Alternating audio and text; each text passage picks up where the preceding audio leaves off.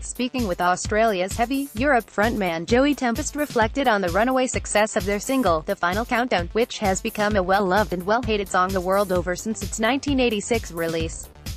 Listen to Europe interview on Spreaker. Europe, who landed on BraveWords Brave Picks 2017 list at Europe beat out arch enemy, Will Power, HEAT, Into the Great Unknown, The Night Flight Orchestra, Amber Galactic, and Vampire, with Primeval Force, to clinch the award. Says the band, a huge thank you to Darren Edwards, Serena Ferlin and all its Silver Lining, Warners for their work on the Walk the Earth campaign, photo, Brian Cannon.